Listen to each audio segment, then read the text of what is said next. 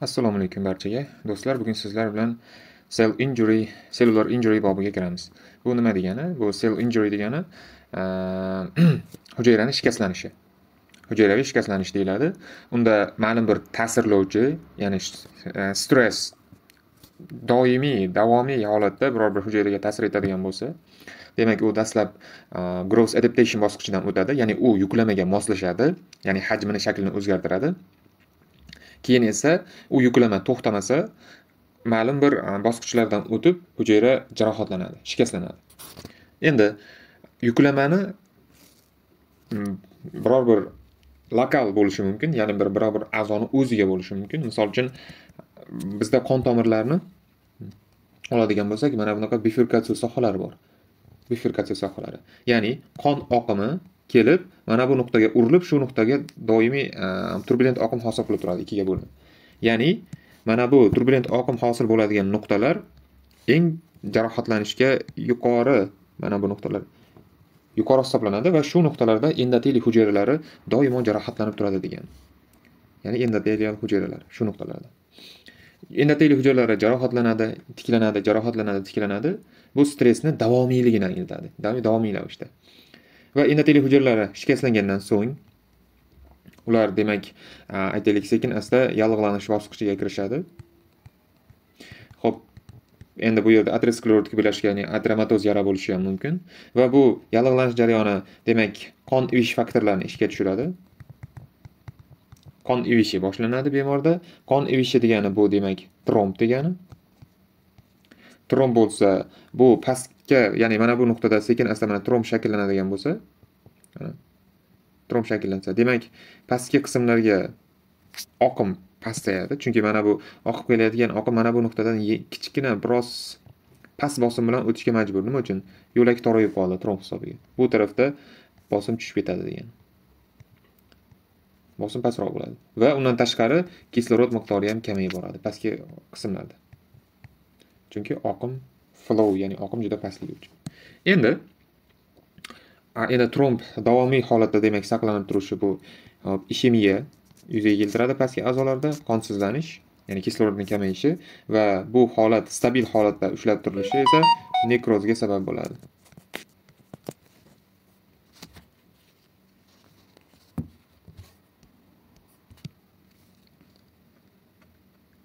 Bu yuklamani ma'lum bir nuqtaga ta'siri.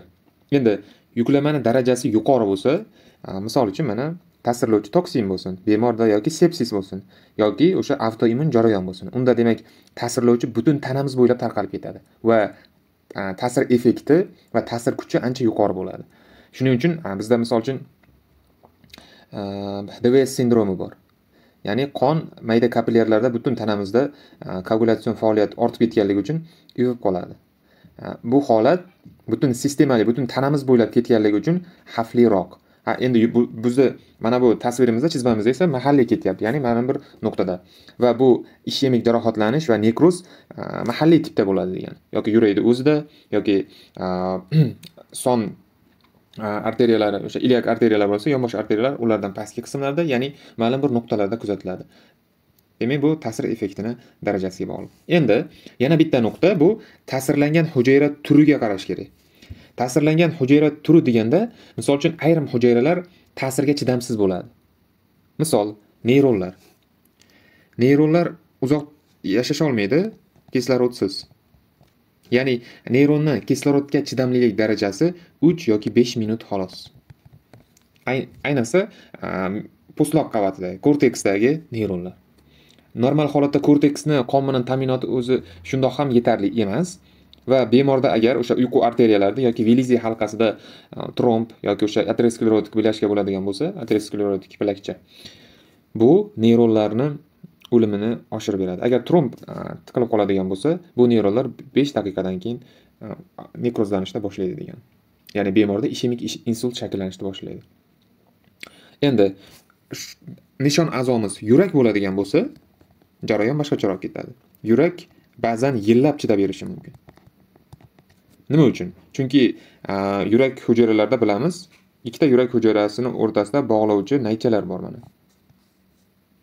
Ya'ni bu bog'lovchi naychalarni ilmiy nomi neksuslar.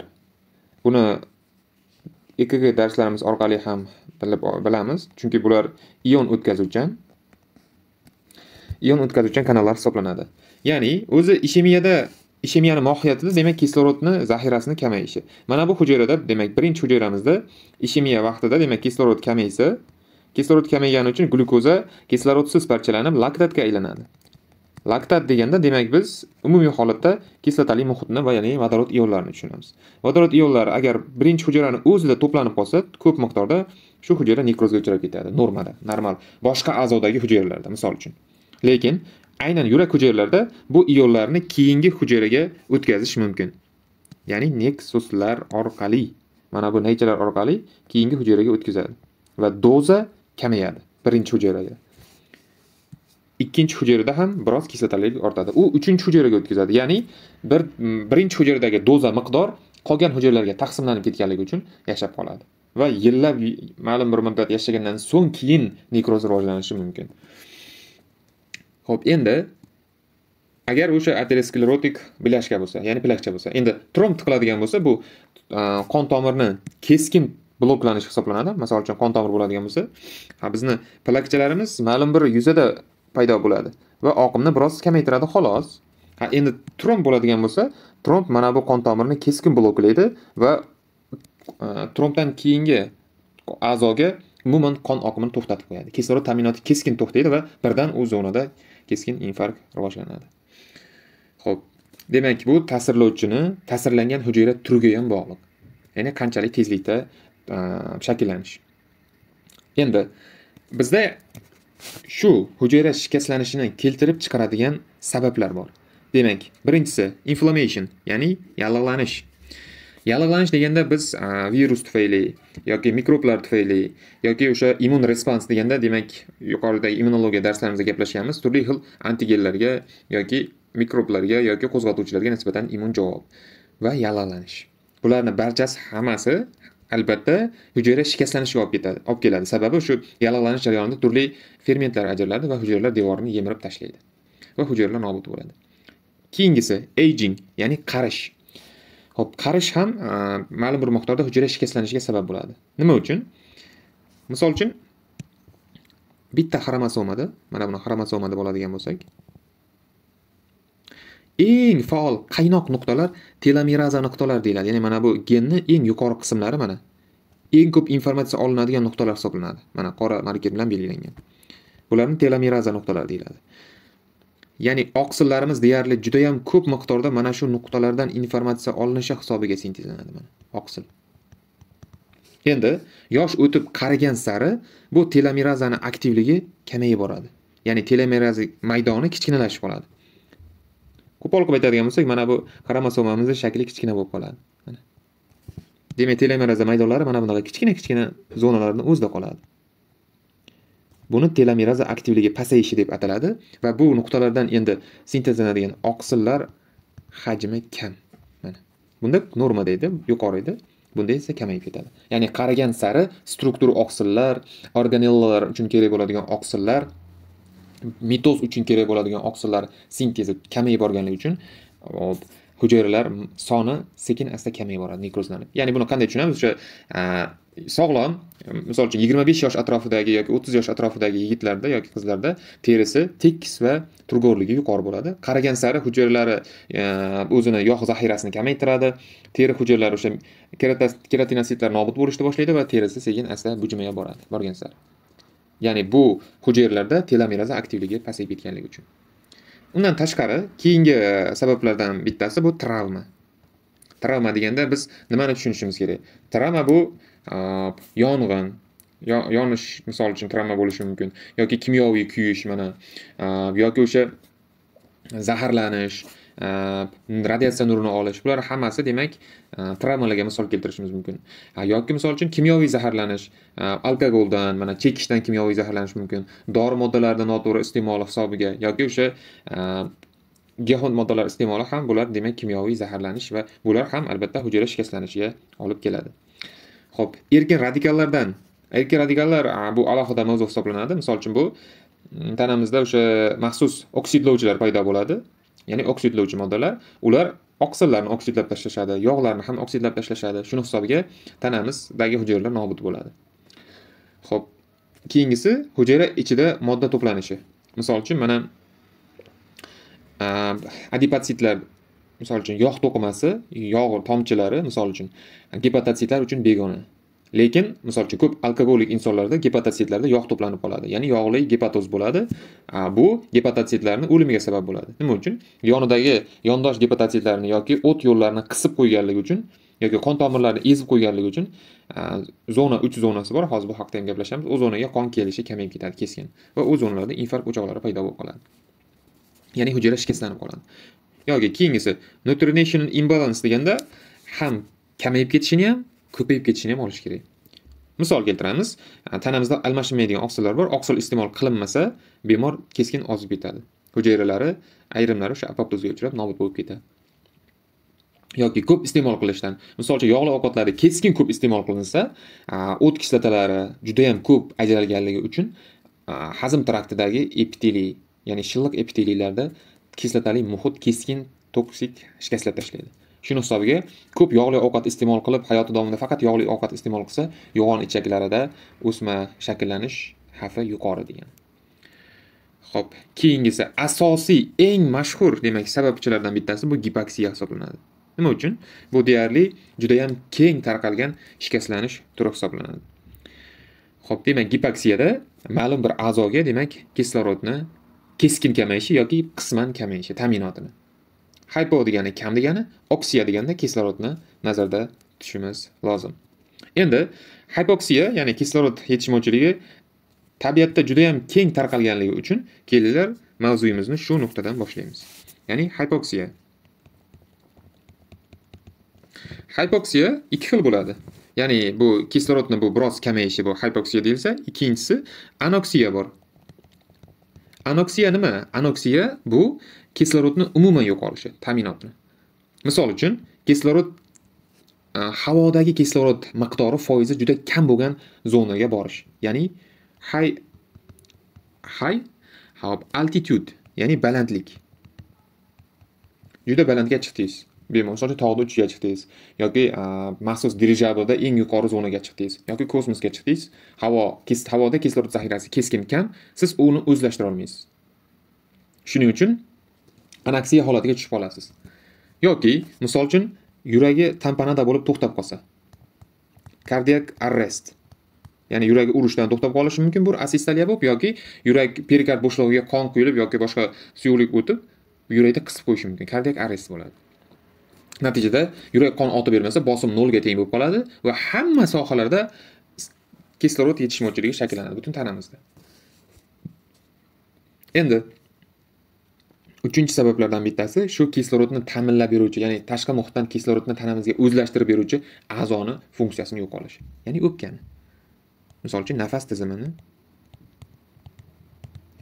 nafas tizimi shikastlanishi bemor misol uchun totalniy Mm, milliard sil o'tkazdi yoki o'sha bemorda e, pnevmoniya hamma zonasiga tarqab ketgan.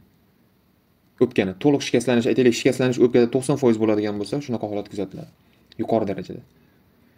Bemor anoksiyadan o'ladi vafot etadi. Chunki boshqa a'zo yo'q unga kislorod yetkazib beradigan. To'g'ri terisi bor ikki foizgina xolos. Ho'p endi bizda kislorodni tanaga qanday o'zlashtirilishini normal holatda bilishimiz lozim. Ho'p demak uni ketma ket ravishda joylashtirib olamiz ya'ni birinchisi demak environment. Environment degani tashqi muhit. Tashqi muhit mana havo. Havodagi kislorod bir.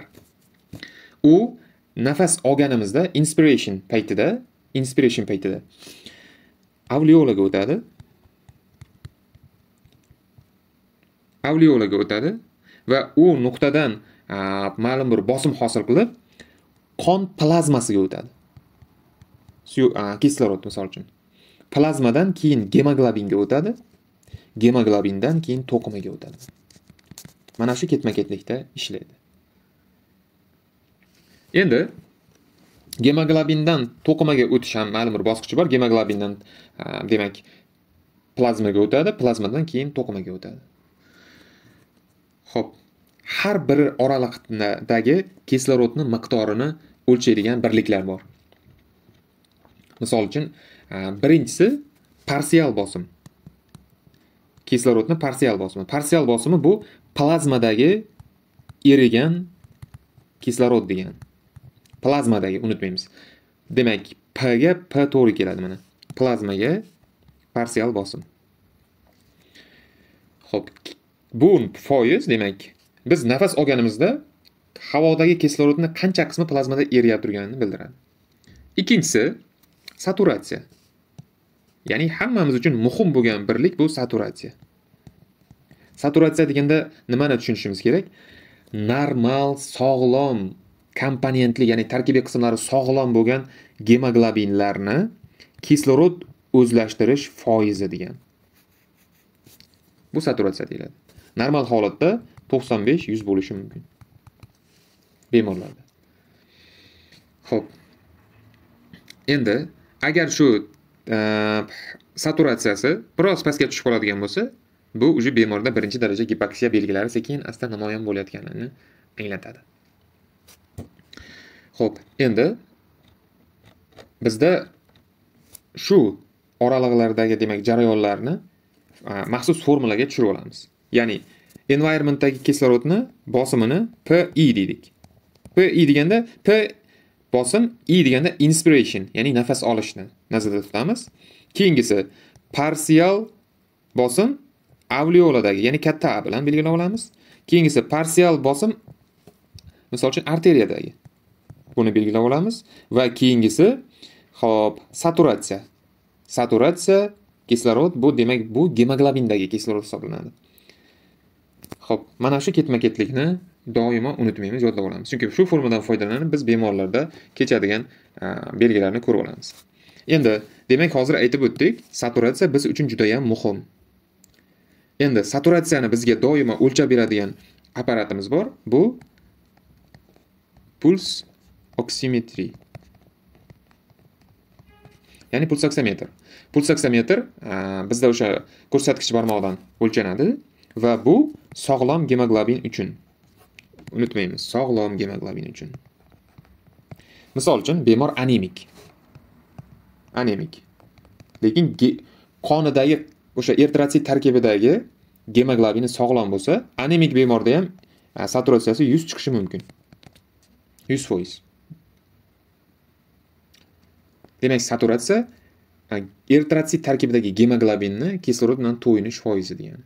U gemoglobin miqdorini ahamiyati yo'q Xo'p, endi biz qachon aldab aldanib qolamiz bunda? Bizda met gemoglobin degan gemoglobin turi bor. Hozir bu haqida ham alohida gaplashib o'tamiz. Met gemoglobin. Bu qanaqa gemoglobin deydigan bo'lsak, buni demak normal holatda gemoglobinda 4 ta temir atomi bor, 4 dona. Har bir temir atomi demak 4 ta kislorodni o'zlashtira oladi. Endi met gemoglobinda bo'lsa, endi zararlanish darajasiga qarab aytaylik, ikkita temir 2 plyus atomi bor, ikkitasida bittadan elektron yo'q, elektron yo'qolib qolganligi uchun uchlikka o'tib qolganman. Bu uch hech qachon kislorod biriktira olmaydi o'ziga. Kislorod biriktira olmaydi. Lekin ikkiligi mana kislorod biriktiradi. Demak, biz aytib o'tdik, sog'lom gemoglobinlardir bizdagi e, pulsoksometr mana bu ikkita sog'lom temir atomiga qarab turib xulosa beraveradi. Gemoglobinni o'ziga qarab turib lekin bu gemoglobin yuz foiz kislorod o'zlashtirgani yo'q. Shuning uchun metgemoglobin bilan o'sha met gemoglobini bor bemor bo'lsa pulsoksometr qo'ysak yuz foiz chiqaveradi. Aslida u gemoglobinlari yuz foiz natija ko'rsatgani yo'q. Yaxshi ishlamaydi u. Chunki ionlari uchli darajada degan. Demak metgemoglobin bo'lib qolsa biz aldanib qolamiz bu e, pulsoksometr bilan. Ho'p endi hamma ko'rinishlari bilan gaplashib chiqdik. Bizda aynan shu e, gipoksiyaga sabab bo'ladigan asosiy omillar haqida gaplashib o'tamiz endi. Asosiy omillarni kelinglar guruhlarga bo'lib olamiz. Demak birinchisi bu e, gipoksiya. Gipoksiya turlarga bo'linib ketadi. Birinchisi ishemiya hisoblanadi. Ishemiya deganda demak ma'lum bir a'zoga kislorodni yetib bormasligi. Ho'p ungacha bo'lgan jarayonlar bormi? Albatta bor. O'pka bosqichidan boshlaymiz. O'pkada quyidagi e, tuzilmalar bor. Demak alveolasi bor. Alveolaga e, venos qoni kelib mana arterial qon chiqib ketadi. Alveolani devorlari qavatlari bor. Maxsus hozir ular biz uchun muhim emas orada demak interstitsial bo'shliq bor. Ho'p vena qonida endi fiziologiyada ham ozgina to'xtalib o'tib ketamiz. Bu juda yam muhim narsa emas. Vena qonida parsial bosim kislorodniki qirq bo'ladi. Parsial bosim karbonat angidridniki qirq olti bo'ladi. Alveolani ichida bo'lsa bu bosim boshqacharoq. Alveolani ichida biz nafas olib turganligimiz uchun doim parsial bosim demak kislorodniki yuz bo'ladi. Parsial bosim karbonat angidritniki qirq bo'ladi mana. Ikkalasi demak exchange qilishadi. Ya'ni gaz almashishadi. Bosim yuqori zonadan bosim past zonaga o'tadi. Demak kislorod yuz bu tarafda kislorod qirq. Demak chiqib ketadigan kislorod qonda parsial bosim kislorodniki yuzga tenglashadi. Endi karbonat angidrid parsial bosim qirq qirq olti ekan. Demak karbonat angidridni parsial bosimi qirqqa qaytadi degani mana shu gazlarni almashinuvi bosimga qarab mana. E'tibor bersangiz sog'lom alveola bilan sog'lom qon tomiri bo'lsa bizda parsial bosim o'zgargani yo'q. Normal gaz almashinuvi bo'lyapti. Endi birinchi aytaylik birinchi bemorimizda bronxial astmasi bor va yoki o'sha qanaqadir bronxlarni devorga bronxospazm bo'ldi. Ya'ni mana bu zona shikastlanib torayib qoldi mana. Bronxlar yo'li bekildi yopiq bo'ldi. Nima bo'ldi desak mana bu zonada mana bu zonada endi ko'rsatkichlar o'zgardi. Deyarli ko'rsatkichlarda hammasi kislorodimiz parsial bosim kislorodniki nolga teng bo'lib qoldi. Nolga teng bo'lib qoldi. Ha karbonat angidridniki esa ko'tarila boshlaydi sekin asta. Yuqori bo'ladi. Ya'ni aytaylik qirq oltiga tenglash bo'ladi chunki qonimizda qirq olti edi. Ha endi parsial bosim kislorod kamayib kamayib boraveradi chunki bu qolgan kislorodni qondagi bor kislorod to'qimalar o'zlashtirib oladi bu vaziyatda. Ho'p endi ikkinchi turida aytaylik mana bu nuqtadan qon tomirini ichini tromb to'sib qo'ydi. Endi endi o'zgarish bu tarafda boshlanadi mana. Parsial bosim kislorodniki kamayadi parsial bosim karbonat kamayadi. Lekin alveolani ichida o'zgarish bo'lmaydi. Alveolani ichida doimiy holat. Ho'p endi gaz almashinuvi bo'lmagani uchun qonda parsial bosim kislorodniki alveolada yuz ellik bo'lib ketadi yuqori bo'lib to'planib ketadi. Karbonat angidridniki esa nolga teng bo'lib qoladi. Umuman yo'qda chunki faqat nafas olish bor. Demak bu ikkinchi turi hisoblanadi. Yuqorida gaplashganimiz birinchi turi edi. Endi uchinchi turi bor. Uchinchi turida mana bu oraliqqa to'siq paydo bo'lsa misol uchun bu interstitsial pnevmoniya bo'lsa va o'sha joyda e, fibrozlanish kuzatilib qolsa ya'ni yo'l qalinlashib yopilib qoldi. Bunda diffuziya jarayoni buziladi ikkala taraflama. Natijada parsial bosim kislorodniki keskin kamayib ketadi. Yana bitta uchinchi turi bor. Bu kasallik asorati hisoblanadi. Misol uchun bemorda covid bor. Mana bu alveolani ichi yiring bilan yoki o'sha eksudat bilan to'lib qolgan bo'lsa ham saturatsiyasi tushib ketadi endi covid o'tkazgandan so'ng mana bu alveola devoridagi o'sha pnevmatsitlar o'lib ketishadi. Hamma turi surfaktant yemirilib ketadi va alveola mana bu ko'rinishda bir biriga yopishib qolsa mana. Ichi sklerozlashgan yoki fibrozlashgan mana. Demak bu alveola umuman ishlamaydi endi faoliyat ko'rsata olmaydi. Shuning uchun post covidni lobektomiya qilishyapti ya'ni coviddan keyingi o'pkani ma'lum bir qismlari fibrozlanib shunaqa alveolalari bir biriga yopishib atelektaz bo'lib qolganligi uchun olib tashlanadi bu ham albatta saturatsiyaga ta'sir etadi. Xo'p, bu endi saturatsiyaga ta'sir qiluvchi, ya'ni kislorodni qondagi e, gemoglobin bilan birikkan miqdoriga ta'sir etuvchi omillar hisoblanadi. Endi bitta narsa bor. Buni o'zimizni ixtiyorimiz bilan o'zgartira olamizmi? Yo'q. Nima uchun? Nafasni ushlab turish rekordlari bor. Misol uchun 9 daqiqa ushlab tursin nafasni. ya'ni suv ostida to'qqiz daqiqa ushlab tursin bu vaziyatda bu albatta maxsus chiniqishlardan keyin bo'ladi lekin baribir nafas markazi stimullanib ketadi. Nafas markazini mana bu karbonat angidritni konsentratsiyasi ya'ni parsial bosimi doim boshqarib turadi. Bu karotid sinusni stimullaydi ya'ni hemoretseptorlarni bu esa nafas markazini stimullaydi nimaga? Sen nafas olmayapsan karbonat angidrit parsial bosimi ko'tarilib ketyapti qonda. Shuning uchun nafas markazini stimullaydi endi sizda pnevmoniya bo'lsa ham mana xuddiki qonda karbonat angidritni parsial bosimi ortib borgan sari sen nafas olmayapsan degan buyruq kelib turaveradi miyaga shuning uchun hansiraymiz ya'ni qachonki qonda karbonat dozasi ortyaptimi siz hansiraysiz. Parsial bosim ortyaptimi demak hansirash jarayoni amalga oshadi. Uni ortishiga sabablar quyidagilar mana ko'rib turganingizdek. Ya'ni agar birinchi uslubda ko'tarilishi mumkin mana karbonat angidrit parsial bosimi. Mana ikkinchisida ham ko'tarilishi mumkin mana bu uchinchisida ham ko'tarilishi mumkin mana.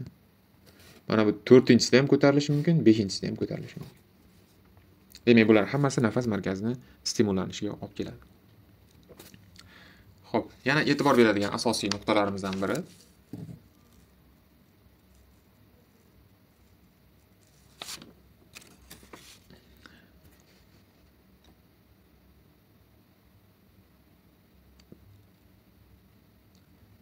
Endi klinik belgilariga ham ozgina to'xtalib o'tib ketsak.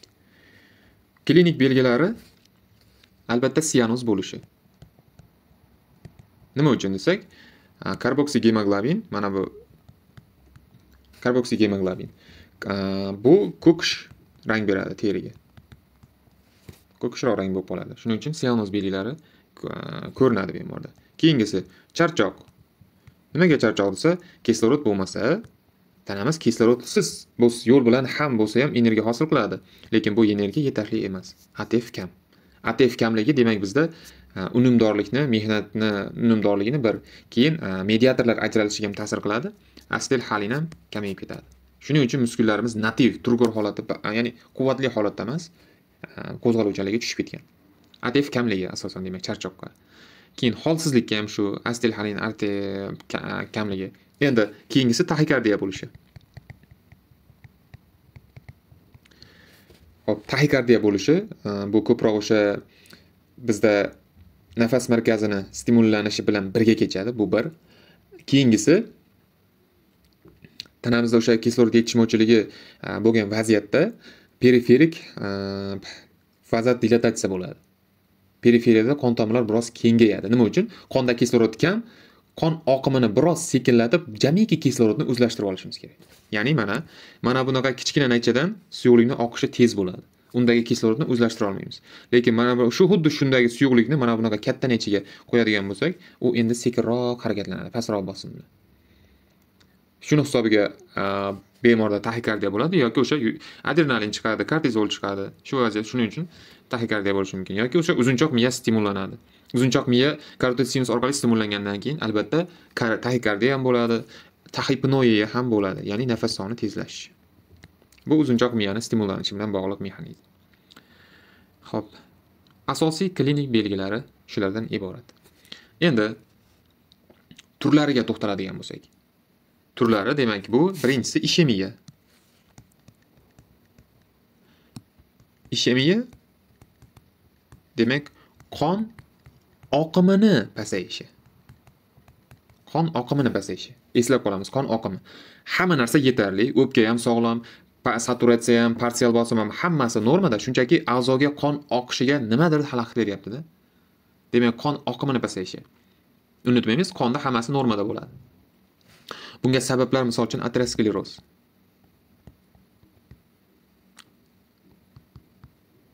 ateroskleroz bu nima degani? Misol uchun normal mana qon tomirimiz bor edi. Ichki devori mana bunaqa aterosklerotik bo'lashka bilan to'silib qolgan. Hali aterosklerozni mexanizmlari bilan alohida hali gaplashib o'tib ketamiz. Natijada mana bu tarafga qarab qon oqimi qiyinlashib boradi borgan sari.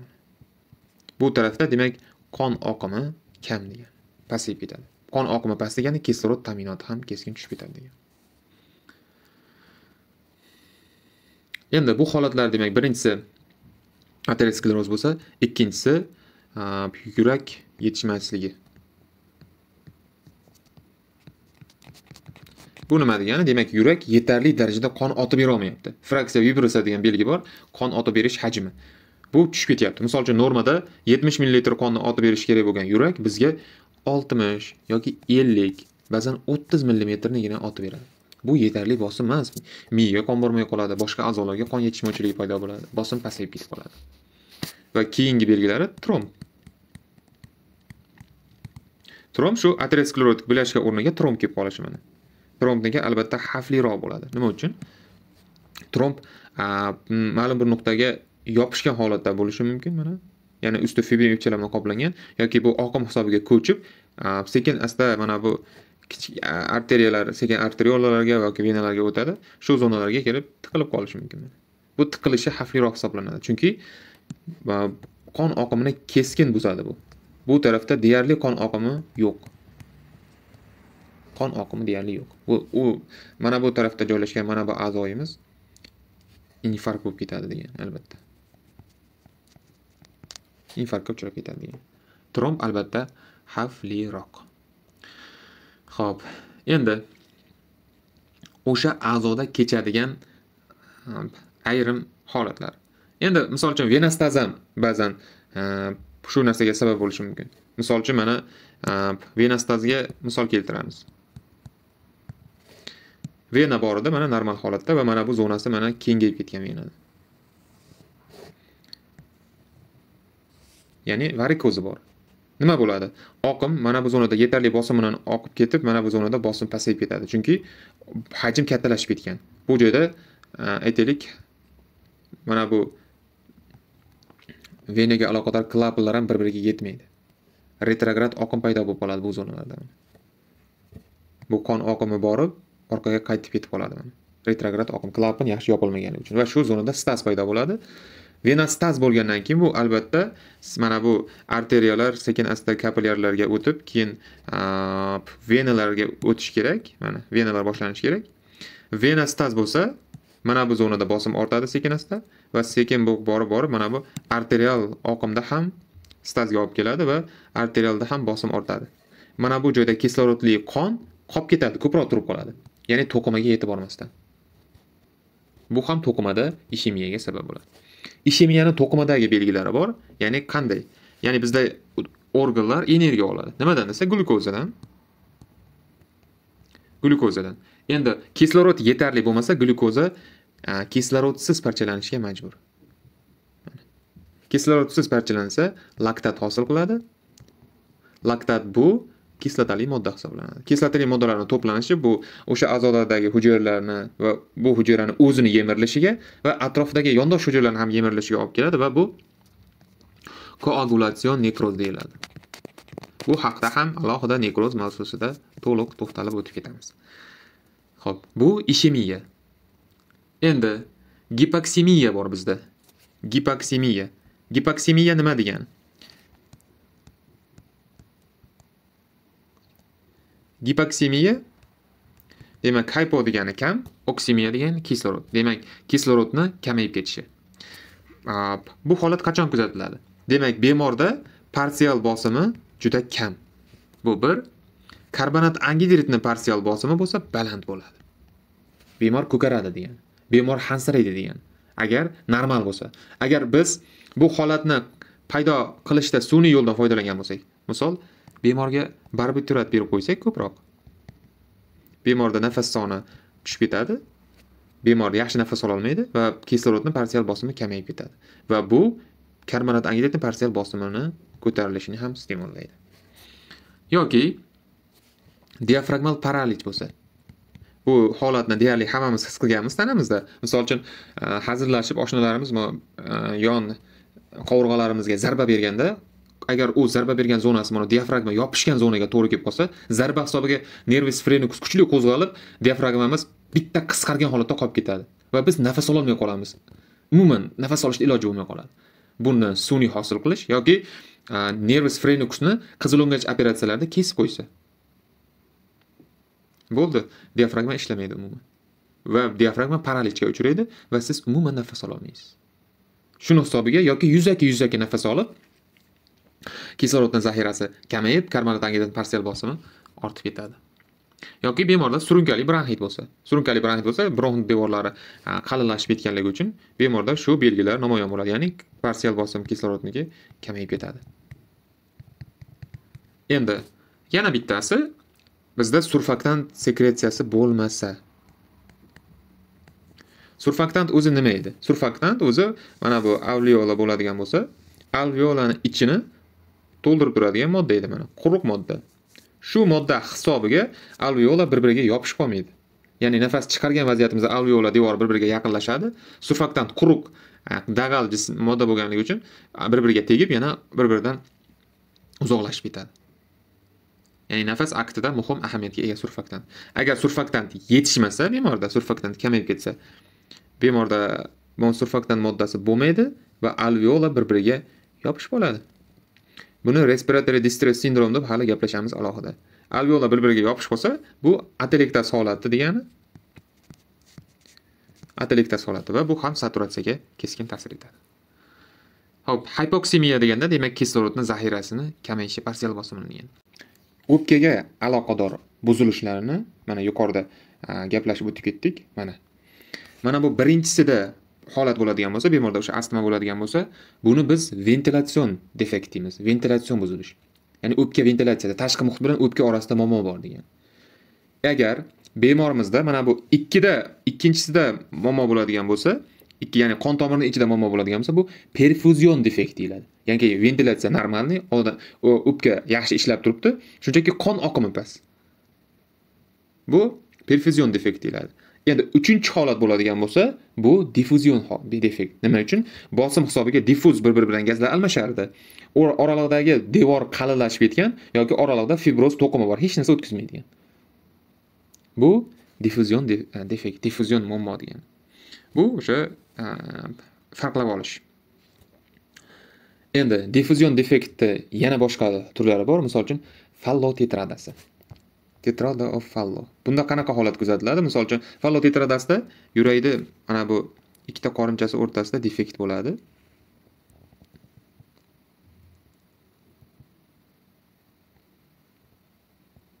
Mana. Demak undan tashqari mana bu o'pka arteriyasida stenoz bo'ladi. O'pka arteriyasi yopiq bu tarafda bosim balandligi uchun kislorodga karbonat angidrida to'ngan qon mana bu kislorodga to'ngan qon ya'ni katta qon aylanish tizimiga qarab o'tib ketadi. Bunda ham o'sha diffuzion defekti belgilari paydo bo'ladi. Nima uchun? Bemor sianoz bo'ladida. Ho'p shu holatlarni ko'rishimiz mumkin. Keyingi asosiy gaplashadigan belgimiz bu high altitude yoki o'sha yuqori balandlikdagi holat. Balandlik balandlik yoki buni cho'kish hodisasi cho'kishda kuzatiladigan holat deylik. Bemor cho'kkanda. Bemor cho'kkanda nima bo'ladi? Bu demak bu atmosferada kislorodni foizi kam yoki suvli muhit bo'lgancha kislorod juda kam. Umuman yo'q desak ham bo'ladi. Bu holatda bemor dastlab kislorodni kamligi bu parsial bosim kislorodga ham ta'sir etadi. Uni ham parsial bosimi qondagi miqdori kamayib karbonat angidritniki ortib ketadi. Karbonat angidritniki ortdi degani biz hansiraymiz degani albatta. Xo'p. Endi karbonat angidritni ortishi hali elektrolit almashinuv buzilishlarida o'tamiz. Bunda respirator alkaloz chaqiradi. Respirator alkaloz chaqiradi. Respirator alkaloz bo'lsa, bizda bitta modda bor, shunchaki hozircha eslab qolamiz. Buni biokimiyada alohida gaplashib o'tib ketamiz. 2 2-3 bifosfogilitserat uzr. 2-3 bifosfogilitserat buni vazifasi nima desak buni vazifasi mana bu gemoglobin o'ziga biriktirib olgan kislorodni shuni to'qimaga o'tkazib yuborsin. To'qimaga o'tishini ta'minlaydi. Ya'ni perfuziyani ta'minlaydi. To'qima perfuziyasini. Ho'p endi respirator alkaloz holati e, glikolizni stimullaydi. Glikoliz jarayoni stimullangani uchun Ehm, bir uch bifosfat glitserat miqdori ortib ikki uch bifosfat glitserat miqdori ham ortib ketadi bemorda. Bu albatta musbat chunki mana bu jarayonni bu stimullaydi ya'ni bemorda gemoglobin bilan kislorod bog'lanib qolib ketmasin uni chiqartishlik gemoglobinni plazmaga o'tkazaylikda plazmadan qaysidir organda kislorod yetishmasa o'sha organ foydalanib olsin. Ya'ni o'lim oldi holatida ham tanamiz bizni saqlab qolishga harakat qiladi.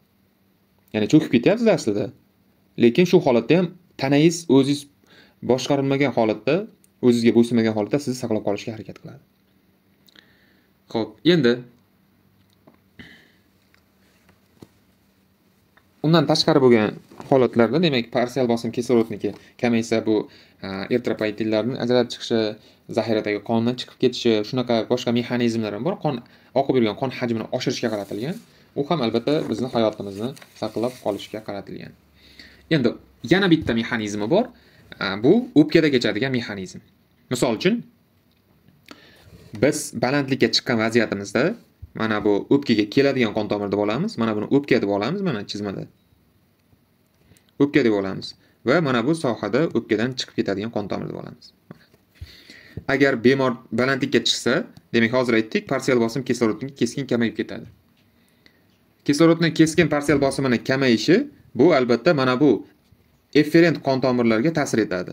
Va efferent qon tomirlarini hammasini gipok kislorod kamligi uchun spazm holatiga tushiradi mana kichkinalashtirib yuboradi va mana bu nuqtada qon bosimini oshiramiz. Qon bosimini ortishi kam kisloroddan ko'proq qonni to'yintirishga qaratilgan. Ya'ni ko'proq o'pkada qonni ushlab tursa kam kisloroddan ham to'liq to'yib oladi o'pka degan ya'ni qon. Shuni nazarda tutadi va lekin bemorimiz o'pka gipertenziyasi bo'lib qoladi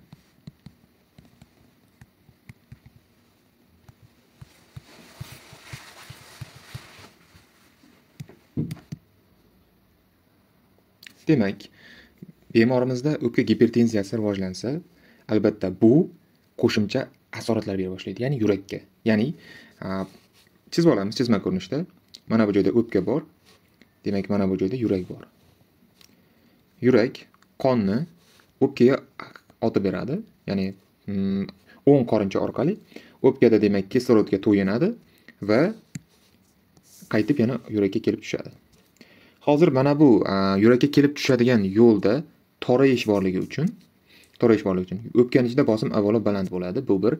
Mana bu o'pka arteriyasida bosim baland bo'ladi. Bu ikkinchi bosqich. Keyin o'ng qorinchada mana bu ikkita qorinchaga bo'ladigan bo'lsak mana bu o'ng qorinchada yuklama hisobiga bosim ortadi va bu gipertrofiya bo'ladi. Bu bir. Demak o'ng qorincha gipertrofiyasi rivojlanadi bemorda o'ng qorincha o'ng qorinchadan so'ng sekin asta o'ng bo'lmachaga o'tadi. O'n bo'lmacha bu nima degani? Misol uchun mana eslab qolaylik mana bonkani qopqog'i bilan pepsini qopqog'ini olaylik mana. Pepsini qopqog'i hech qachon bonkani yopolmaydi. Ya'ni o'ng qorinchani hajmi kattalashib ketgandan keyin uni yuqorisida joylashgan mana bu uch tabaqali klapanimiz bir biriga yetmay qoladi degani. O'ng qorincha kattalashib ketganligi uchun. Klapan yetmay qolsa bir biriga bu nima degani desak bu degani o'ng bo'lmachadan kelib tushadigan qon qaytib yana bir qismi o'ng bo'lmachaga chiqib ketyapti degan. Va o'ng bo'lmacha ham sekin asta gipertrofiya bo'lib ketadi degan. Bu ikkinchi bosqich va sekin galma gal ketma ketlik bo'yicha gipertrofiya bo'laveradi.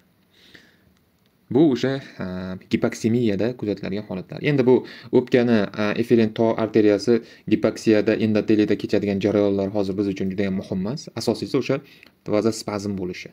Bu holat boshqa holatlarda ham kuzatilishi mumkin. Endi yana bitta narsani eslab qolamiz. Ya'ni o'sha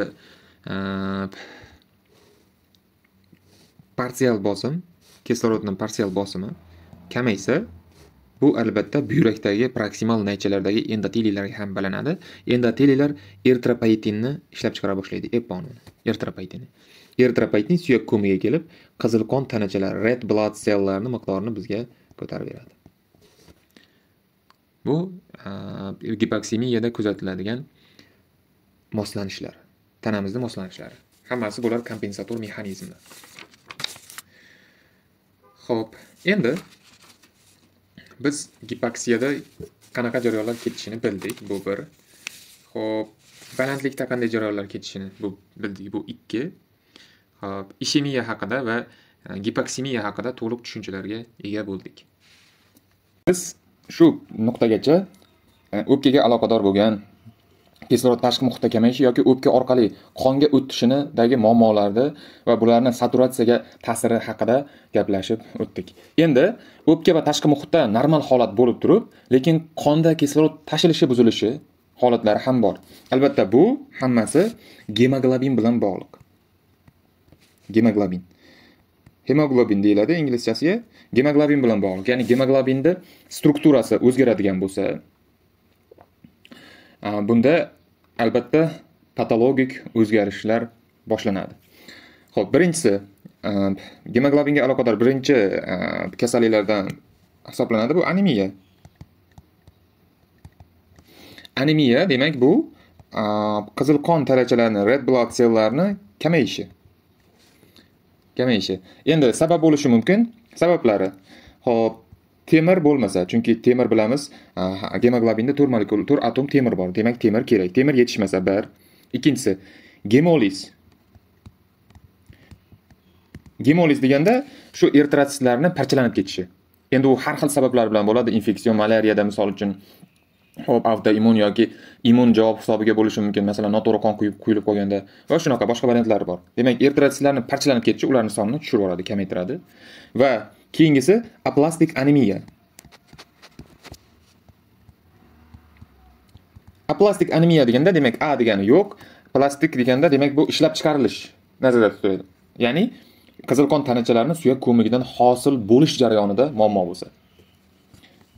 Ya'ni u nuqtada e, suyak ko'migi kuchsiz holatda ya'ni giposellyulyar holatga kelib qolgan bo'lsa yoki gipoaktiv holatga kelib qolgan bo'lsa eritrotsitlar orolchalarni e, o'sma hujayralari egallab olgan bo'lsa ya'ni boshqa variantlar bo'lishi mumkin. Keyingi turi buyrak kasalliklarida misol uchun bemorimizda buyrak yetishmovchiligi bo'lsa epo chiqmay qoladi. Bu eritropoetin bilan bog'liq albatta. Eritropoetin bilan bog'liq buyrak kasalliklarida bo'lishi mumkin. Endi bemorda qanaqa holat kuzatiladi? Bemorda deyarli barcha ko'rsatkichlar normada. Misol uchun hop demak tashqi muhitda kislorod normada. Uni e, alveolaga o'tish alveoladagi parsial bosim ham normada. Ho'p qondagi parsial bosim ham normada va saturatsiya ham normada ko'rinadi bunda. Kamchiligi shunda deyarli hamma ko'rsatkichlar normada ko'rinadi. Nima uchun desak sababiki biz o'tgan darsda saturatsiya e, yuqorida gaplashib o'tdik saturatsiya mavzusida sog'lom gemoglobin bilan birga kislorod birikishini aniqlab beradi. Sog'lom gemoglobin bilan. Endi anemiya bo'lgan taqdirda ham bu sog'lom gemoglobin hisoblanadi. Shuning uchun saturatsiyada ham normal ko'rsatkichlar ko'rinadi. Ho'p endi bu birinchi sababi. Endi boshqa sabablarga to'xtaladigan bo'lsak medgemoglobin bu birinchi gemoglobinga aloqador patologiyalar hisoblanadi. Met gemoglobin met gemoglobin nima degani? Met gemoglobin shu gemoglobin tarkibidagi temir atomlari hop oksidlangan holatdan qaytarilgan holatga o'tib qolish ya'ni bitta elektronni berib yuborish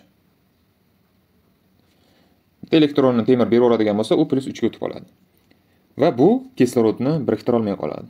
Umuman kislorod birikmay qoladi bu bilan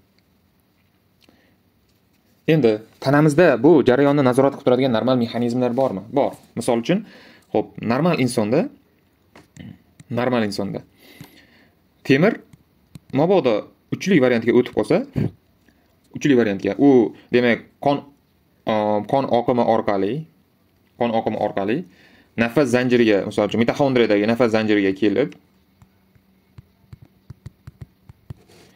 ya'ni uch valentli temir nafas zanjiri tarkibidagi tarkibidagi. Ho'p sitoxrom sitoxrom b b besh reduktaza. Ferment nomi bu. Sitoxrom b besh reduktaza. Shu ferment ta'sirida ta'sirida ikkilik variantga o'tib oladi. Qayta bu nafas zanjiri tarkibidagi ferment hisoblanadi. Xo'p, endi misol uchun bizda bolalar bolalar yangi tug'ilgan vaziyatda jigardagi, tanasidagi fermentlar yetishmovchiligi kuzatiladi. Misol uchun chaqaloq sarig'ligi. Glyukouron yetishmasa, glyukouronil kislota. A bu bu degani parchalangan eritrotsitni glyukouronil bilan bog'lab eruvchi moddaga aylantirish kerak edi.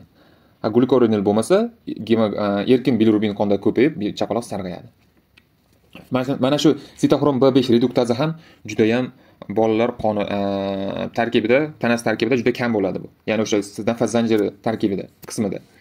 Shuning uchun bolaga erkin radikallarni yoki temirni uchdan ikkiga e, ikkidan uchga o'tishi xavfi yuqori bo'lgan dorilarda berib bo'lmaydi. Misol uchun nitratlar nitritlar yoki tarkibida e, oltingugurt oltin gugurt saqlagan dorilar yoki chaqaloqni sepsis holatiga tushirib qo'ymaslik kerak. Yoki o'sha e, o'rta yer dengizidagi aholida ko'p uchraydigan fava bins degan e, o'simlik bor. E, uni mevasi iste'mol qilinadigan bo'lsa ham erkin radikallar ko'payib ketadi. Ho'p shu uchlik holati ortib ketishi bolani gipoksik holatga tushirib qo'yadi. Judayam ehtiyot bo'lamiz shuning uchun. Endi bu normal sikl saturatsiya bunda albatta tushadi. To'g'ri bu bizga ko'rinmaydi saturatsiya tushgani. Sababiki e, a tushadi uzr kechirasizlar saturatsiya tushadi. Ya'ni gemoglobinni med gemoglobinga aylanib qolishi uni kislorod biriktira olmaydida saturatsiya sekin asta tushib boradi bemorda.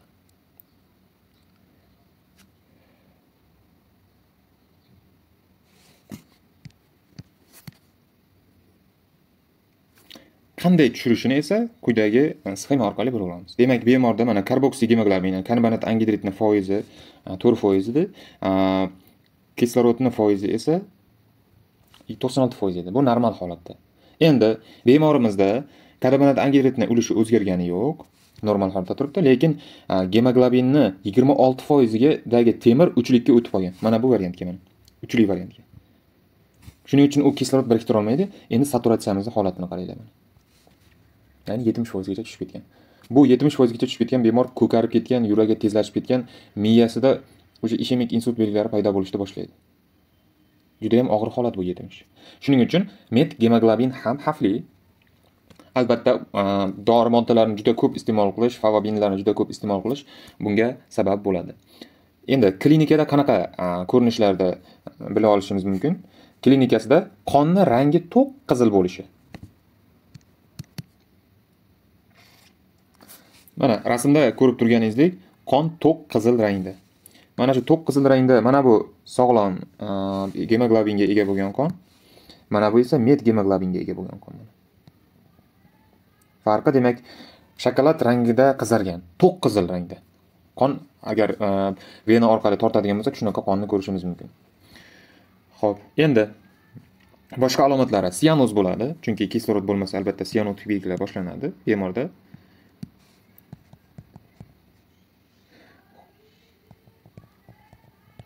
Birinchi belgilar demak sianoz ho'p bosh aylanishi. Albatta bu atf yetishmovchiligi bilan aloqador narsa va og'rishi. Bitta narsani tushunib olaylik. Bosh og'rig'ini deyarli to'qson foizi yoki sakson foizi gipoksiyadan bo'ladi. Mohiyat nimadan iborat?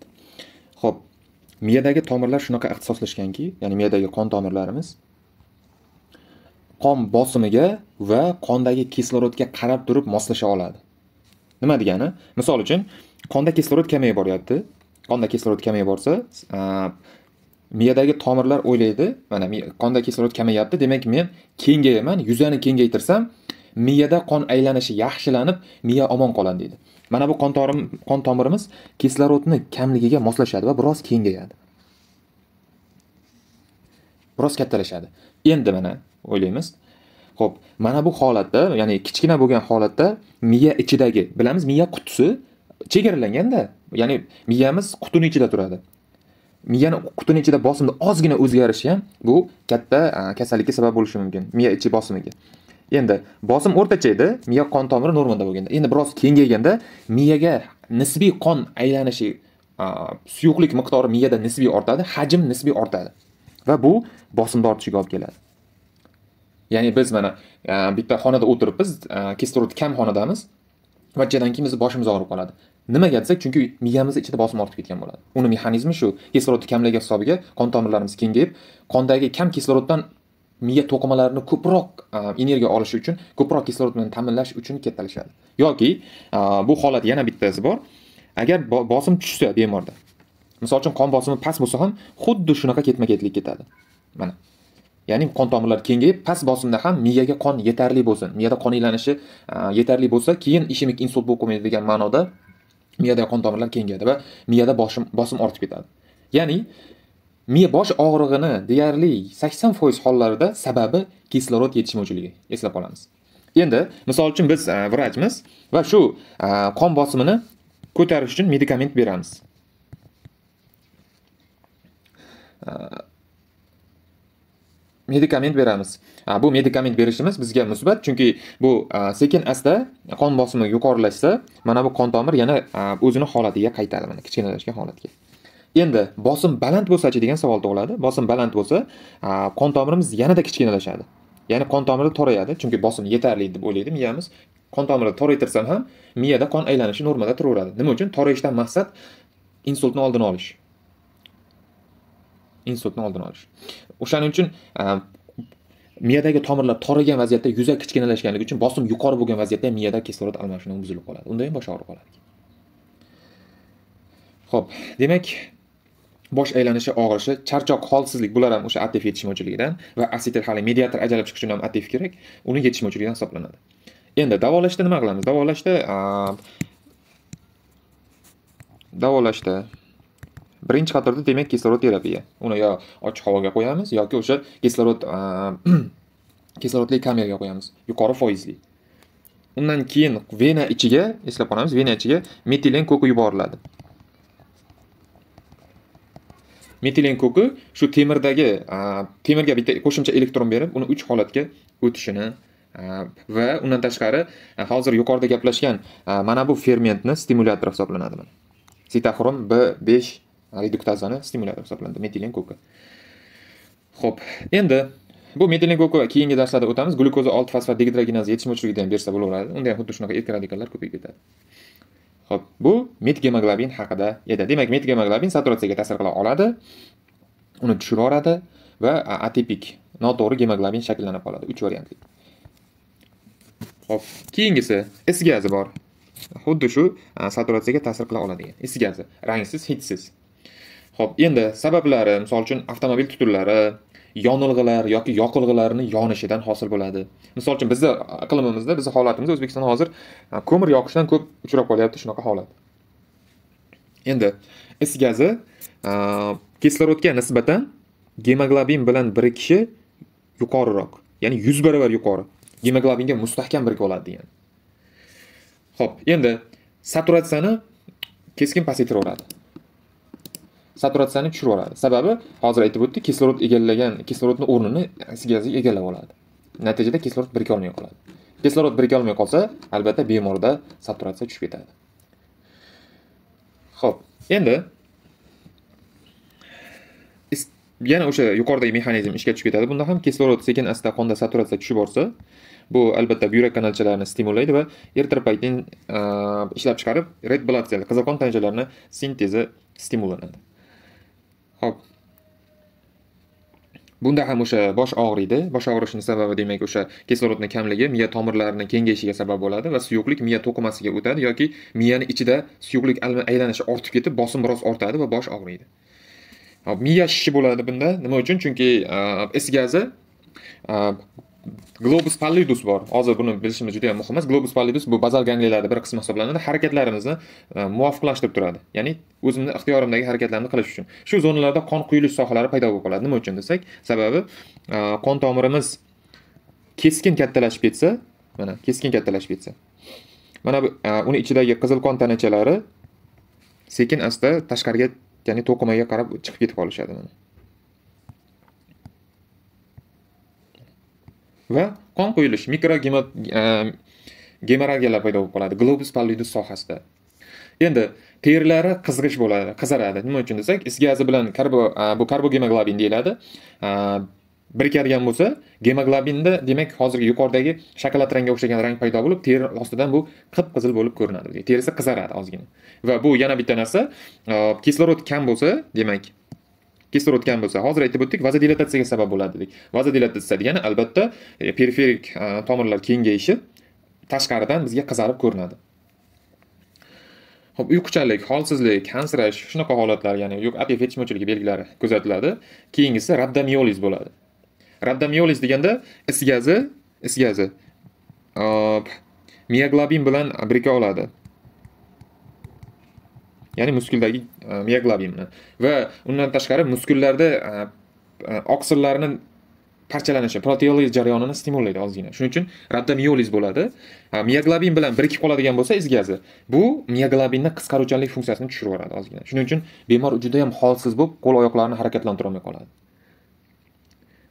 Hop endi ba'zida o'sha ishemik insultlarga sabab bo'lishi mumkin. Bu is gazi yuqorida immunology videolarimizda gaplashib o'tganmiz o'sha maxsus hujayra ichi yallig'lanishni avtoimmun stimullovchi strukturalar bor. Inflammasoma inflammasomalar deb o'tganmiz unda shu inflammasomalarni stimullab yallig'lanishni boshlab berishi mumkin miyada va miya yumshashiga olib keladi. Ho'p endi mrt yoki kt qildiradigan bo'lsak miyasida shu zonalarni ko'rishimiz mumkin. Belgilari belgilari demak shu. Sianoz yana. Yana sianoz ho'p keyingisi e, laktik atsidoz. Laktik atsidoz degani laktat ko'payib ketish qonda. Nima uchun? Chunki kislorod bo'lmasa e, glyukoza kislorodsiz parchalanib laktatga aylanib ketadi va bunda qonda kislotali muhit ortib ketadi va e, metabolik atsidoz kelib chiqadi. Buni hali gaplashamiz bafruja. Lekin unutmaymiz parsial bosim deyarli normal bo'ladi. Nima uchun? Parsial bosim qonda ya'ni plazmadagi bosimda gemoglobindagi emas shuning uchun bu normada bo'ladi. Ho'p ikki uch bifosfogilitserat bu modda glikoliz jarayonida hosil bo'ladigan faqat eritrotsit uchun xos bo'lgan modda yuqorida gaplashdik. Va buni miqdori kamayib ketadi. Nima uchun? Sababi o'zi gemoglobin is gazi bilan birikib kislorod bilan birikolmay turibdi. Ya'ni o'zi shundoq ham gemoglobin tarkibida kislorod juda kam.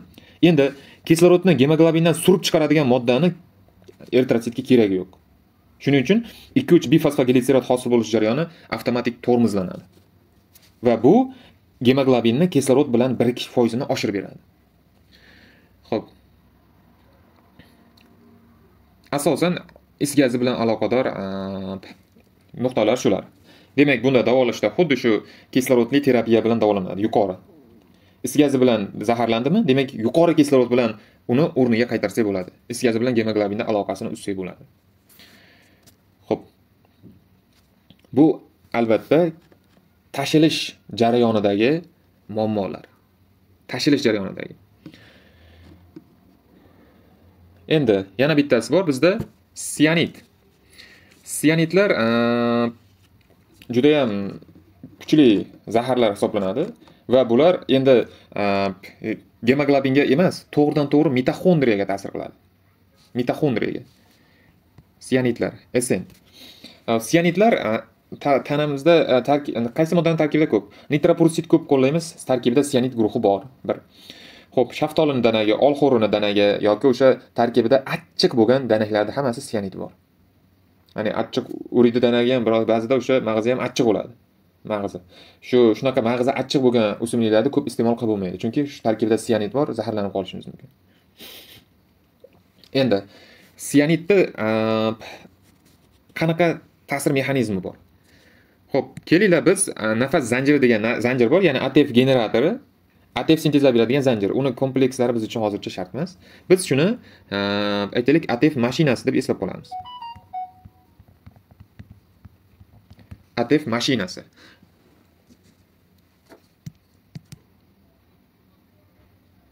Bizga e, doimiy ravishda tanamiz uchun zarur lozim bo'lgan ATFni sintezlab berib turadi. Endi kelinglar shu sianitni e, yoki is gazini shu mashinani balonini e, teshib qo'yadigan zirapcha deymiz yoki o'sha narsa deymiz. Va mashinamiz to'liq ishdan chiqadi. Mashina yurmaydi. Atf zaxiramiz kamayib boradi borgan sari degan. Shuning uchun sianidlar juda yam xavfli. Buni sherigi bor yuqorida gaplashgan is gazi is gazi ham xuddi shunaqa effekt qiladi. Ya'ni mashinani jarohatlab o'sha mashinani e, harakatini to'xtatib qo'yadi. Ho'p endi bu holatda e, kislorodni foizini ahamiyati yo'q. Mashinani e, faoliyatini tiklashga nima uchun? Chunki bu atf mashinasini aytaylik yoqilg'isi kislorod edi. Kislorod kelib bu mashinani yuritar edi va natijada bizda bu mashinadan ko'p miqdorda atf ajralib chiqadi. Atf hosil bo'ladi. Endi ho'p. Lekin hozir sianidlar bu atf mashinasini ishdan chiqargandan so'ng mashinaga endi yoqilg'ini hojati yo'q. Natijada qonda yoqilg'ini miqdori ortib ketadi mana. Chunki sarflanmayaptida. Ya'ni bemorda hattoki venalarida hattoki venalarda kislorodni foizi juda yuqori bo'ladi. Venalarda hattoki. Shuning uchun sianidlar xavfli chunki atfimizni judayam keskin tushirib yuboradi bular qonda laktik atsidoz bo'ladi. Nima uchun desak hozir gaplashib o'tdik kislorod bo'lmasa hujayra sog'lom qolish uchun qayerdandir energiya topish kerak? Shuning uchun laktatga aylantirib ikki molekula bo'lsa ham energiya hosil qilishga harakat qiladi. Ho'p endi undan tashqari tanamizda maxsus oqsillar bor. Xuddi shu adif mashinasiga ta'sir qila oladigan. Misol uchun birinchi turi termogenin degan oqsil. Bu qo'ng'ir yog' tarkibida bolalarda ko'proq bo'ladi. Ho'p keyingisi dinitrofinol. Bular maxsus struktur moddalar hisoblanadi. Bular o'sha parchalanish hisobida parchalanadigan bo'lsa bizga issiqlik beradi. Tanadagi issiqlikni muvozanatini ta'minlaydi. Lekin ikkinchi tomonlama bizni atf mashinamizni ishdan chiqaradi. Atf sintezini biroz pasaytiradi buni sababi shu atf mashinasi qanday ishlaydi shu haqida ham ma'lumot olamiz mana qisqacha hujayrada demak vodorod beradigan kompleks bor ya'ni nadef bor nadef nadhash bor keyingisi fathash bor ya'ni vodorod komponentlar hammasi endi vodorod komponent bo'lgani uchun bular kelib shu vodorodini vodoroddagi bitta elektronni zanjirga qo'shadigan bo'lsa mana zanjirda elektron harakatlanadi doim elektron harakatlanadi. Bu vodorodimiz tashqariga chiqib ketadi mana plyus holatda mana. Bitta elektron bergan vodorod bu. Ho'p endi shu vodorodimiz qaytib kirish jarayonida qaytib kirish jarayonida bizda atf hosil bo'ladi. Hujayra ichiga kiritiladigan bo'lsa mitoxondriya ichki e, ichki membranasi bu. Mitoxondriyani oralig'i bu e, ikkita membranasi bor ikki qavat membranasi bu. Oralig'i e, shu ichki membranasiga qaytib kiritiladigan bo'lsa ichki membranasidan ichki bo'shlig'iga kiritiladigan bo'lsa atf sintezlanar edi. Endi termogenin bilan e, dinitrofilor nima qiladi desak bu ikkalasi mana bu joydan tayyor darvoza ochib beradi. Vodorod uchun. Mana bu mana shu darvozani bular ochib berishadi. Endi vodorodlar maxsus atf generator orqali emas erkin holatda ochiq darvozadan hujayrani o'sha mitoxondriyani ichki bo'shlig'iga o'tib ketib qoladi. Ya'ni vodorodlar atf sintezi uchun sarflanmay qoladi. Shuning uchun termogenin bilan dinitrofinol atf sinteziga biroz pasaytiradi ta'sir eta oladi. Lekin tanadagi haroratni ta'minlashda ishtiroki baland. Undan tashqari moddalar bor. Misol uchun salitsilitlar misol uchun mana aspirin. Asetil salitsil uni ham dozasi juda yam ortib ketadigan bo'lsa u ham mana bu darvozalarni ochib qo'yadi yoki vodorodlarni hujayraning ichiga kirgizib yuborishadi yoki alkogol. Alkogol ham xuddi shunaqa ya'ni yuqori miqdorda alkogol tanada paydo bo'ladigan bo'lsa u ham mana bu jarayonni stimullashtiradi ho'p endi bizda shunaqa zonalar borki maxsus zonalar ular qon ta'minoti o'zi normal holatda ham kuchsiz bo'ladigan zonalar bor.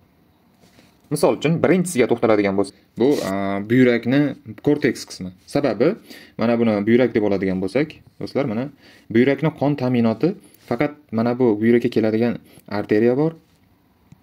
Buyrakdan chiqadigan mana aytaylik venasi bor. Endi shu yuqori po'stloq qavatlari mana bu ichki qavatdan keyin yuqori po'stloq qavatlarga qon boradi mana.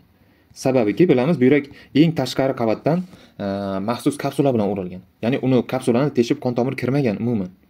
Shuning uchun ichki qavatdan eng tashqi qavatga borgan sari kislorod zaxirasi mana bu nuqtalarda yetarli bo'lsa bu taraflarga borib kislorod zaxirasi kamayib boradi mana periferiyaga borib. Nima uchun? Bir kishi e, ozuqa tarqatib turgan bo'lsa shahardan boshlasa ozuqa tarqatishni qishloqqacha borgunicha ozuqasi ancha tugab qoladi. Chunki aholi bor zich. Xuddi shunday e, hujayralarga kislorodni berib berib berib eng tashqi po'stloq korteksga yaqinlashgan sari kislorod zaxirasi kamayib boradi. Demak normal holatda ham korteks qismga kislorod zaxirasi kam ekan bularni water sheet areas deydi ya'ni gipoksiyaga ishemiyaga judayam judayam sezgir zonalar. Agar bizni tanamizda ishemiya yoki gipoksiya bo'lsa yoki gipoksemiya bo'lsa birinchi shikastlanadigan zonalar shular bo'ladi. Yoki hop jigarda jigarda mana jigarda demak o'rtasida markaziy vena bor. Mana burchaklarida bo'lsa demak hop arteriya hop o't yo'li bor. Vena bor uchlik bor triada bor. Shulardan e, qon mana bu markaziyga keladi. Markaziyga kelish kelish zonalari bor kelish paytida. Demak mana bu eng tashqi qavat birinchi zona. Hop bu ikkinchi zona eng o'sha portal venaga yaqin zona uchinchi zona bo'ladi. Uchinchi zona kislorod zaxirasi juda kam zona hisoblanadi. Ya'ni gipoksiyaga juda sezgir zona hisoblanadi. Agar mana bu arteriyada muammo bo'ladigan bo'lsa birinchi nekroz uchinchi zonadan boshlanadi degan. Ho'p endi mezenterik arteriyalar bor. Yuqorigi va pastki mezenterik arteriyalar. Misol uchun mana mana bu yo'g'onichak bo'ladigan bo'lsa mana sigmasimon holati mana. Yuqorigi mezenterik arteriya mana bu yuzalarni qon bilan ta'minlaydi. Mana. Hop pastki mezenterik arteriya mana bu yuzalarni qon bilan ta'minlaydi. Endi mana bu oraliqdagi arosat zonasi bor deylik mana. Ya'ni ikkala tomondan ham qon olish kerak normada lekin bu joyga qon ta'minoti juda ham kam bo'ladi. Ikkalasini oralig'ida qolib ketganligi uchun. Bu ham infarktga eng moyil zona hisoblanadi. Ho'p endi sub endokard qavati. Ya'ni o'sha miokard qavati bor muskul qavati bor keyin mana bu joyda subendokard qavati bor ya'ni tolalar joylashadigan qavat mana shu muskul bilamiz yurak muskullari eng tashqi devorda joylashgan koronar arteriyadan qon oladi. Ya'ni eng ichki qavatga yetib borgunicha bunda ham mm, eng ichki qavatda kislorod zaxirasi juda kam bo'ladi. Ya'ni mana bu ichki bo'shliqdagi kisloroddan qon ololmaydi u. E, qondan kislorod ololmaydi. Shuning uchun eng tashqari koronar arteriyadan endi sub endokard qavatiga yetib kirgunicha kislorod zaxirasi kamayib ketadi shuning uchun ishemiyada stenokardiyada yoki o'sha gipoksik holatlarda sub endokardial infarkt uchrash ehtimoli juda juda yuqori degan. Ho'p asosiy e, watershed arealar shular ekan. Ya'ni kislorod gipoksiyaga moyil bo'lgan sohalar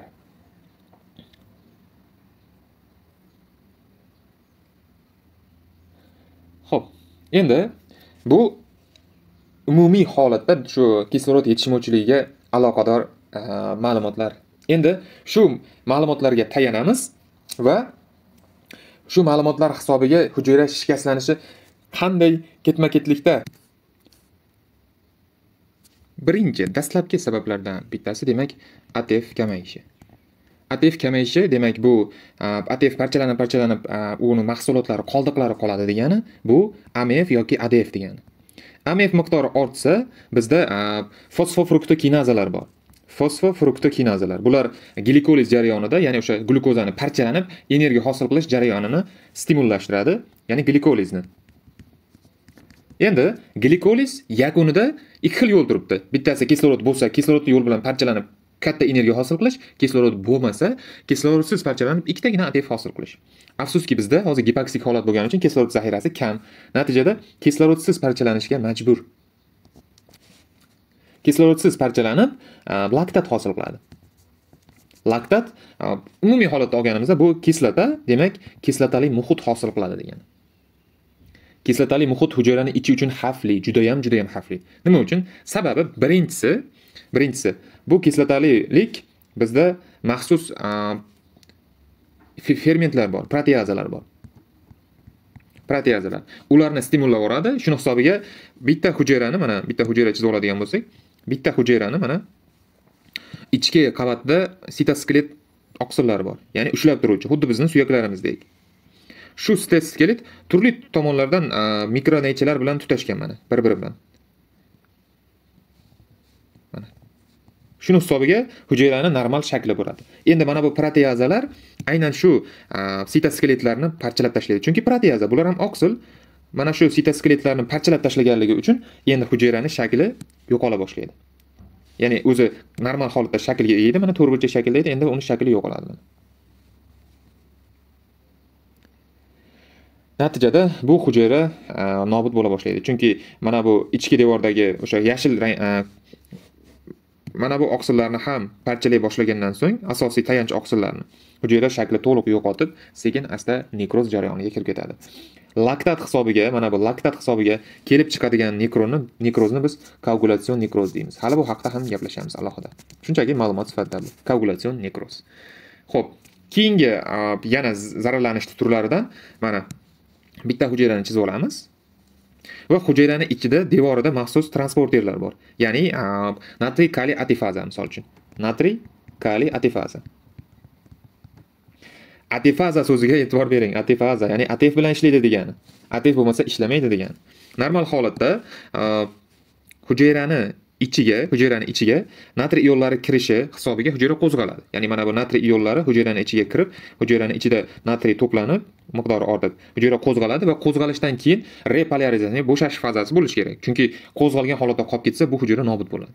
Qo'limizni bir kun ko'tarib tursak charchab ketadi judayam og'rib tolib. Xuddi shunda ham hujayra ham doim ish bajarib tursa energiyasi tugab nobud bo'ladi. Shu natriyni chiqarib tashlash kerak. Tashqariga chiqarilgan kaliyni repolarizatsiya chiqarilgan kaliyni kiritish kerak. Mana uchta natriyni chiqaramiz ikkita kaliyni kiritamiz. Endi atif bo'lmasa bu kanal ishlamaydi. Endi nima bo'ldi? Endi mana hujayrani ichida natriy orta boshladi. Natriy osmotik modda. Osmotik moddaligini qayerdan bilamiz? Misol uchun mana ko'pchiligimiz mevalarga sabzavotlarga tuz sepib ko'rganmiz. Ya'ni sabzavotga tuz sepsak aralashtirsak tashqariga suv chiqib ketadi sabzavot. Nima uchun desak biz tashqarida natriy ionlarini ko'paytirib yuborsak u hujayrani ichidagi suvni ham o'ziga tortib olib hujayrani turg'orligini tushirib yuboradi. Endi xuddi shu holat mana natriy ionlari hujayrani ichida ko'payyaptimi demak endi tashqaridan suyuqlik kirib ketadi hujayrani ichiga. Mana bu tashqarida turgan suyuqliklar barchasi hujayrani ichiga kirib ketadi va hujayra ishib kattalasha boshlaydi. Demak bu hujayra shishiga sabab bo'ladi mana. Hujayra ishib kattalashadi.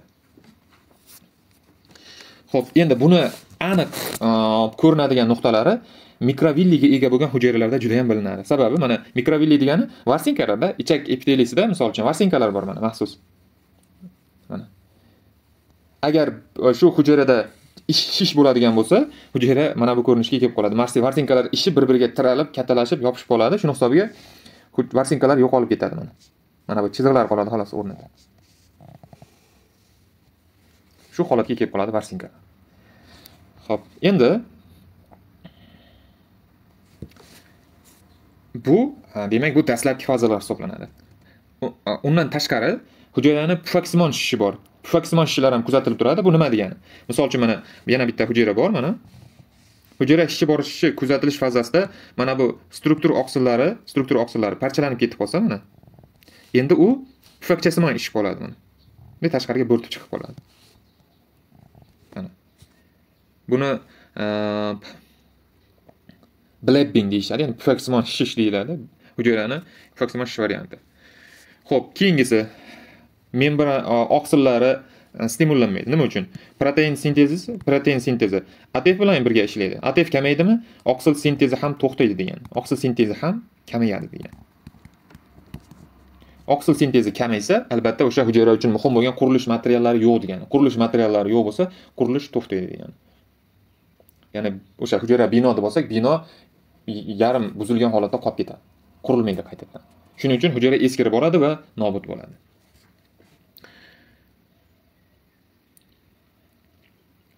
Asosiy demak ortga qaytadigan o'zgarishlar shular.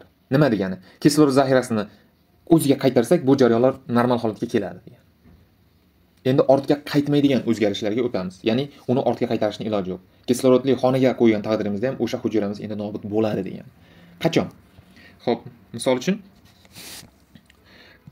atifaza aytib o'tdik hozir. E, e atef hisobiga ishlaydi. Natriy kaliy atifazani ko'rdik. Endi kalsiy atifaza ham bor. Kalsiy atifaza turli joylarda bor. Misol uchun mana hujayra bo'ladigan bo'lsa hujayrani tashqi membranasida bor kalsiy atifaza bir. Ho'p hujayrani mana bu mitoxondriyasida ham bor mana. Yoki endoplazmatik retikulumida ham bor mana. Endoplazmatik retikulumda. Va mana bu erkin holatda hujayradan tashqarida bo'lgan erkin kalsiyni hujayradan tashqariga chiqarib yuboramiz yoki mitoxondriyaga joylashtiramiz yoki endoplazmatik retikulumga yoki o'sha sarkoplazmatik retikulumga joylashtiramiz. Chunki bu kalsiyni erkin holatda qolib ketishi bu hujayrani qo'zg'algan holatda qolib ketishi degani ya'ni misol uchun men qo'limni bukishim uchun muskulim ish bajarish uchun hujayrani ichiga kalsiy kirishi kerakda. Sitoplazmada erkin kalsiy borlik bo'lsa keyin muskulim ish bajaradi. Endi shu kalsiyni e, mitoxondriyaga yoki endoplazmatik yoki sarkoplazmatik retikulumga olib kirib qo'ysak yoki hujayradan tashqariga chiqarib yuborsak endi ish bajarolmay qoladi. Ho'p atefaza hisob atef yetishmovchiligi hisobiga mana bu jarayonlarni barchasi bloklanib qoladi.